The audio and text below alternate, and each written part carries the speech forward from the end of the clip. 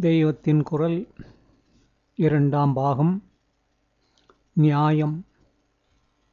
அதாவது யுக்தி சாஸ்திரம். இதில் பிரமாணங்கள். பிரத்திய அனுமானங்களோடு நியாயம் சொல்கிற நியாயம் சொல்கிற மற்ற இரு பிரமாணங்கள் உபமானமும் சப்தமும் ஆகும் உபமானம் என்பது என்ன? நமக்கு தெரியாத ஒன்றை தெரிந்து ஒன்றின் ஒப்புவமையால் தெரிந்து கொள்வது. கவயம் என்று ஒரு மிருகம் இருக்கிறது அது எப்படி என்று நமக்கு தெரியவில்லை. காட்டெருமை மாதிரி ஒன்று அது பார்த்தால் மாடு மாதிரியே இருக்கும் என்று அதை பற்றி சொல்லி இருக்கிறது நாம் எங்கேயோ காட்டுப்பக்கம் போகிறோம். அங்கே இப்படி ஒரு மாடு மாதிரியான ஒரு மிருகத்தை பார்க்கிறோம். உபமானம் என்பது இதுவே. சப்த பிரமாணம் என்பது வாக்கு ரூபமான வேத பிரமாணமும் சத்துக்களான பெரியவர்களின் வாக்குமாகும். நமக்கு தெரியாத விஷயங்களை வேதமும் மகான்களும் சொல்லும்போது அதிலே பொய்யே இருக்காது என்று பிரமாணமாக எடுத்துக்கொள்ள வேண்டும். வேதம் ஈஸ்வர வாக்கு என்பதே நையாயிகர்களின் அதாவது நியாயசாஸ்திரக்காரர்களின் கருத்து. அதனால் அது பிரமாணம். சத்தியசந்தர்களாக இருக்கப்பட்ட மகான்கள் சொல்வதும் சப்த பிரமாணத்தில் சேர்க்கப்பட வேண்டியது. இந்த நாலு பிரமாணங்களும் மீமாம்சையில் குமாரில பட்டரின் சித்தாந்தத்தில் ஏற்றுக்கொள்ளப்பட்டிருக்கின்றன.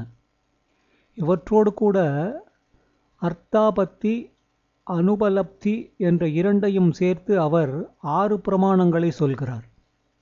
நம்முடைய அத்வைத வேதாந்தத்திலும் இந்த ஆறு பிரமாணங்களையும் ஏற்றுக்கொண்டிருக்கிறோம். அர்த்தாபதி என்பதற்கு நம் சாஸ்திர நூல்களில் ஒரு உதாரணம் சொல்லி சற்றென்று புரிய வைக்கிறது. வீணோ தேவதத்தோ நி திவான புங்தே என்று சொல்லியிருக்கும். குண்டான் தேவதத்தன் பகல் வேளையில் சாப்பிடுவதில்லை என்று அர்த்தம். பகலில் சாப்பிடாமலும் அவன் இழைக்கவில்லை. குண்டன் தேவதத்தன் பகல் வேளையில் சாப்பிடுவதில்லை என்று அர்த்தம். பகலில் சாப்பிடாமலும் அவன் இழைக்கவில்லை குண்டாக இருக்கிறான் என்று இந்த வாக்கிலிருந்து ஆகிறது. இதிலிருந்து என்ன தெரிகிறது? அவன் இரவில் நன்றாக சாப்பிடுகிறான் என்று தெரிகிறது.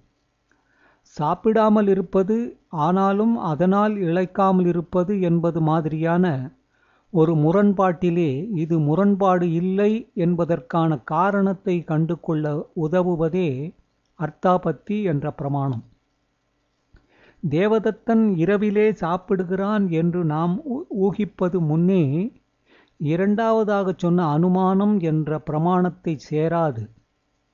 அனுமானத்தில் ஒரு விஷயத்தை ஊகிப்பதற்கு அதிலிருந்தே ஒரு அடையாளம் மேகத்திலிருந்தே இடி மாதிரி நெருப்பிலிருந்தே புகை மாதிரி தோன்ற வேண்டும்.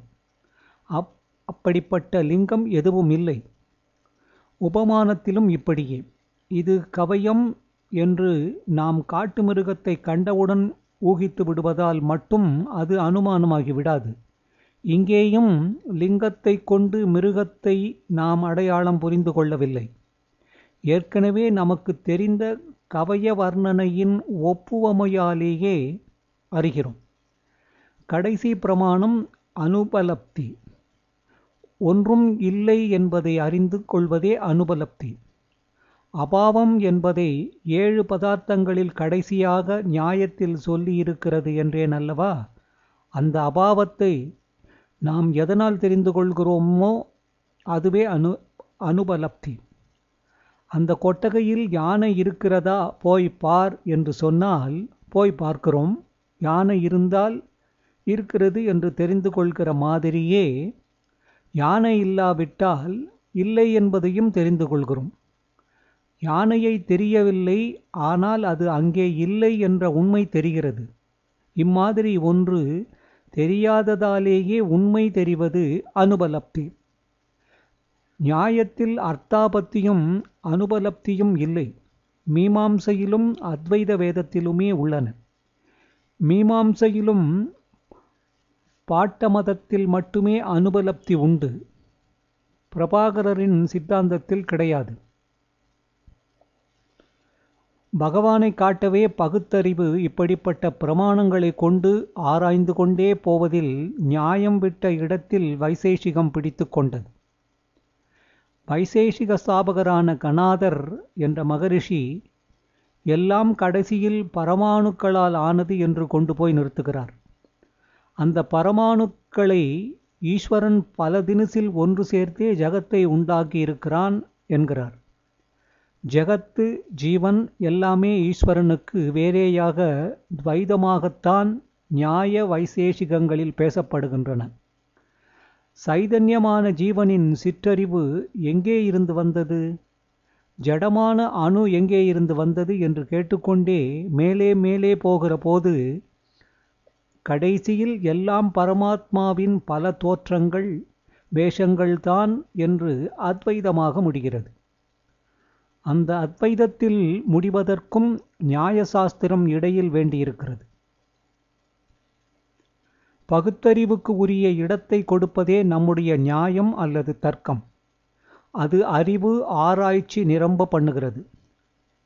அதற்காக ரேஷனலிசம் என்பது மெட்டீரியலிசம் ஏத்தியிசம் மாதிரியான லோகாயத வாதமாக நிச்சீரியவாதமாக நாஸ்திகமாகத்தான் இருக்க வேண்டும் என்று இல்லை என்று காட்டுகிறது.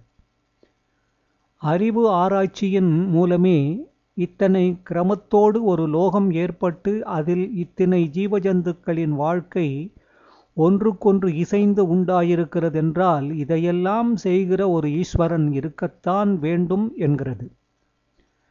நம் பகுத்தறிவு போக முடியாத இடமும் உண்டு என்பதை நியாயசாஸ்திரம் ஒப்புக்கொள்வதால் தான் நம்மால் நிரூபித்து பார்த்து கொள்ள முடியாத விஷயங்களை கூட வேதம் சொன்னால் ஏற்கத்தான் வேண்டும் என்கிறது.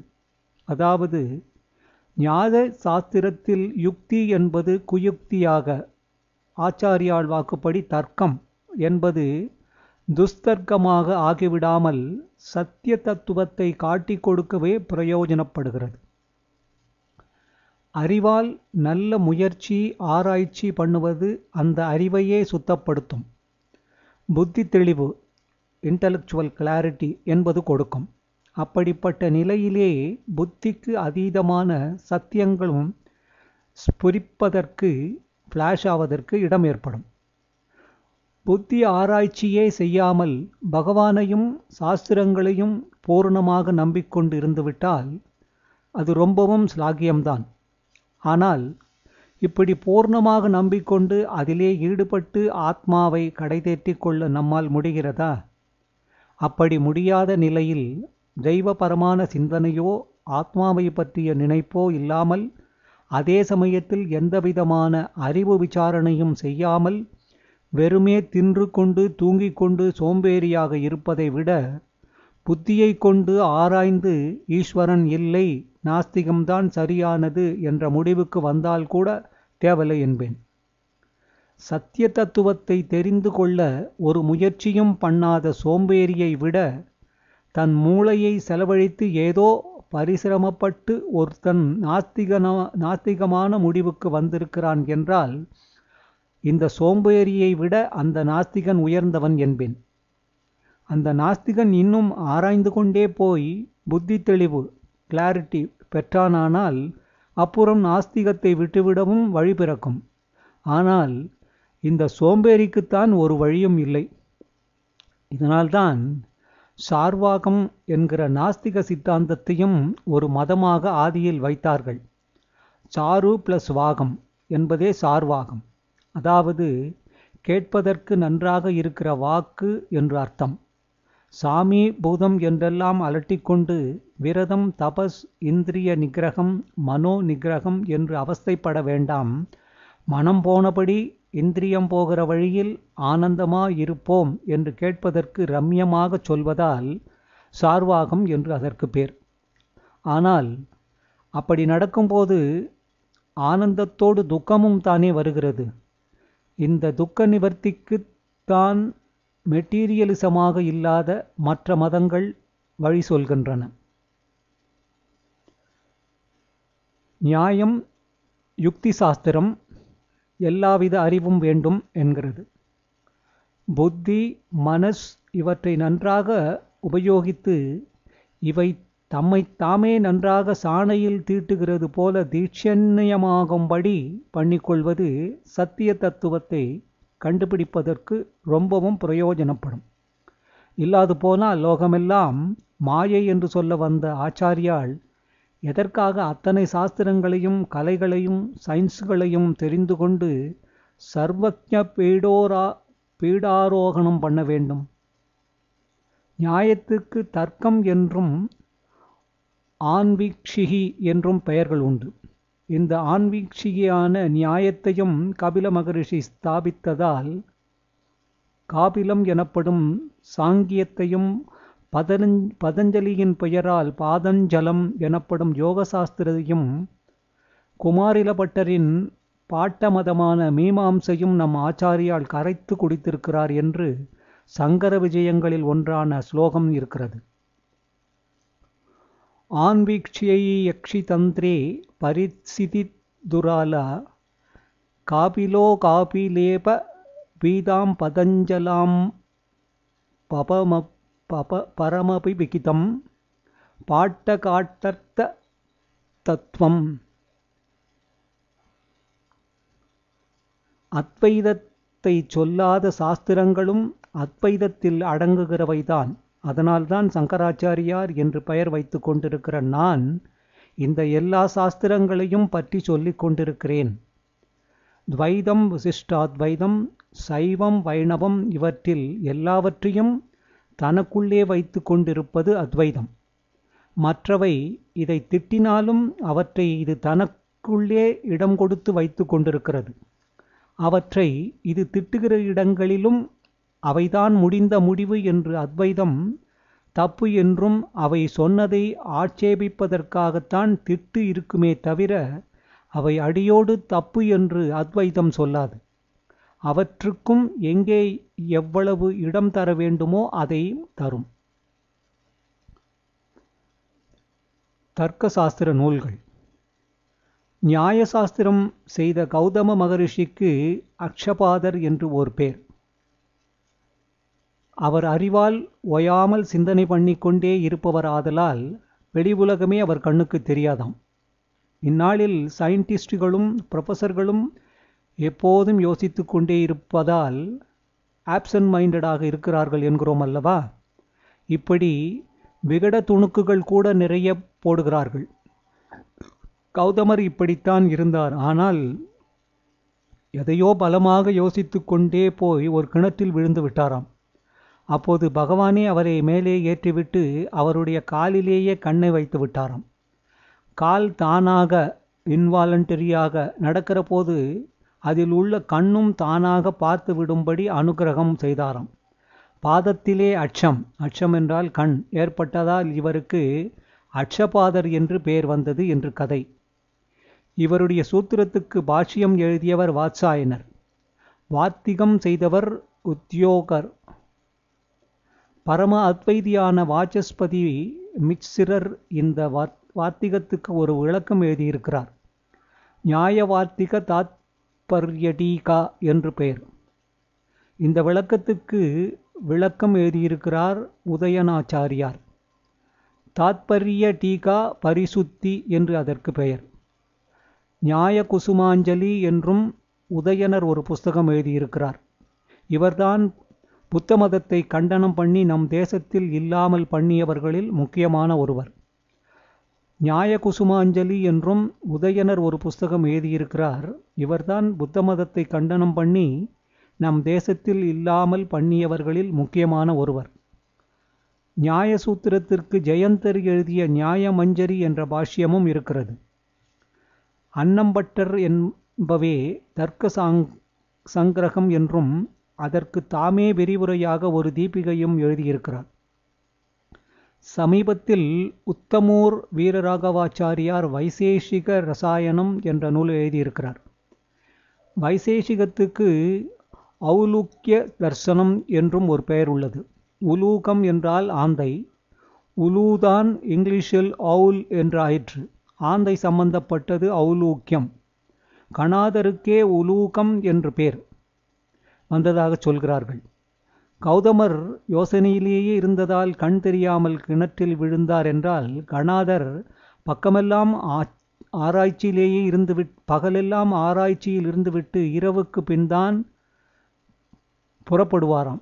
பகலில் கண்ணுக்கு அகப்படாமல் ராத்திரியிலேயே இவர் சஞ்சாரம் செய்ததால் ஆந்தை என்று நிக்நேம் பெற்றதாக சொல்கிறார்கள். அஞ்சா அஞ்ஞானியின் ராத்திரி ஞானிக்கு பகலாக இருக்கிறது என்று கீதையில் பகவான் சொல்லும் பொழுது எல்லா ஞானிகளையும் ஆந்தையாகத்தான் சொல்லிவிட்டார். கணாதர் ஸ்தாபித்ததால் கணாசாஸ்திரம் என்றும் வைசேஷிகத்துக்கு பேர். தமிழ் காணாத அல்ல எல்லாவற்றையும் கண்டு சொன்னவர் என்று ஒரு பண்டிதர் வேடிக்கையாக சொன்னார்.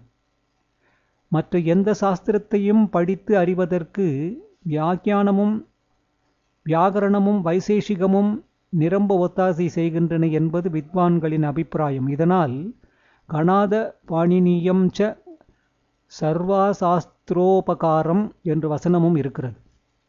கணாதம் வைசேஷிகம் பாணினியம் வியாகரணம் வியாகரணம் நடராஜாவின் டமருவிலிருந்து வந்தது என்றால் நியாய வைசேஷிக சாஸ்திரங்களும் சிவபெருமானின் சம்பந்தமுடையவையே. வைசேஷிக சாஸ்திரங்களில் மகேஸ்வரனையே பரமாத்மாவாகச் சொல்லி நமஸ்காரம் பண்ணி இருக்கிறது ஜகத்துக்கு ஈஸ்வரன் நிமித்த காரணம் என்று கொள்வதில் சைவ மதங்கள் நியாய சாஸ்திரத்தையே பின்பற்றுகின்றன எனலாம். உலகப் படைப்பின் காரணம். நிமித்த காரணம் உபாதான காரணம் என்ற இரண்டு உண்டு. ஒரு பானை இருந்தால் அது உண்டாவதற்கு மண் என்ற ஒரு வஸ்து இருக்க வேண்டும். மண்தான் பானைக்கு உபாதான காரணம். ஆனால் மண் எப்படி பானையாக ஆகும்? தானே அது ஒன்று சேர்ந்து பானையாகுமா? குயவன்தான் மண்ணை பானையாக பண்ண வேண்டியிருக்கிறது. மண்ணினால் ஒரு பானை உண்டாக வேண்டுமானால் அதற்கு குயவன் என்ற காரணமும் உண்டாயிருக்கிறது. குயவன்தான் நிமித்த காரணம். ஜோதிஷ சாஸ்திரத்தில் சொன்ன நிமித்தம் வேறு இந்த நிமித்தம் வேறு. அணுக்களை உபாதான காரணமாக கொண்டு ஈஸ்வரன் என்கின்ற நிமித்த காரணம் ஜகத்தை பண்ணி இருக்கிறது என்பது நியாய வைசேஷிக கொள்கை. மண்ணை பானையாக்குவதற்கு குயவன் அவசியம் வேண்டும். அவன் இல்லாவிட்டால் மண்ணிலே பானை இல்லை. இல்லாத பானை என்ற விளைவை மண்ணிலிருந்து குயவன் உண்டாக்குகிறான் என்று சொல்வார்கள். இதற்கு ஆரம்பவாதம் என்றும் அசத்காரியவாதம் என்றும் பெயர். சத் என்றால் இருப்பது அசத் இல்லாதது. வெறும் மண்ணிலே பானை இல்லை இல்லாத பானை அதிலிருந்து விளைந்தது. இப்படித்தான் ஈஸ்வரன் அணுக்களை கொண்டே அணுக்களில் இல்லாத சிருஷ்டியை பண்ணியிருக்கிறான்